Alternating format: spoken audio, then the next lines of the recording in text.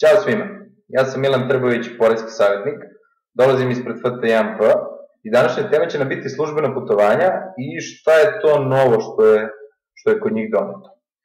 Pre svega, nova je doneta uredba vlade koja ograničava, što oni kažu, za državne činovnike, dnevnice u zemlji i u inostranstvu. E sada, kod privatnog sektora to uređuju dva zakona. Jedan je zakon o radu,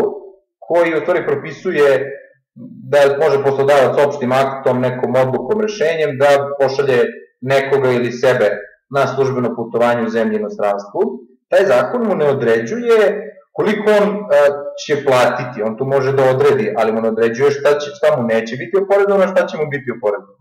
To je u drugom zakonu, zakonu o porezu na dohoda građana, koji propisuje da je dnevnica u zemlji od 2168 dinara neoporezivi iznos i u nastavku tog člana govori o tome da uredba, nije precizirano koja, određuje neoprezive iznose za inostranstvo. E sada, pošto ne postoji druga uredba nego ovo što je vlada donela, odnosno sada izmenila, pa mišljena sam da se primenjuje za sve zemlje inostranstvu iznos od 15 eura kao neoporezivi iznos. Sve iznad toga će biti dodatno oporezovano, pa porezom na zarade, odnosno 10%, tako da prosto u medijima vidim da je velika pompa oko toga da to kao nije ili jeste, raspravlja se ne samo u medijima, nego prosto svuda ono, kruži informacije oko toga, mišljenja sam da jeste, objasnio sam i zašto, u zakonu ne stoji tačno precizno koliki je to iznos, kao što je kod dnevnica u zemlji, tako da definitivno se primenjuje ta uredba i to donosi neko veće opterećenje ljudima koji su putovali u stanstvo, odnosno privatnom sektoru,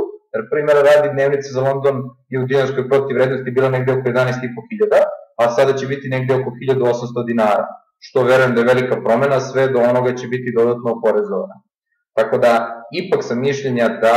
je došlo do promena i značajnog u privatnom sektoru, može se to vratiti, ali ako se donese nova uredba ili ako se u zakonu dodatno definiše neki iznosi, neka tabela, bilo šta, ali ne ovako opšte određeno da se to nekom uredbom uređuje, a ovo je jedina uredba.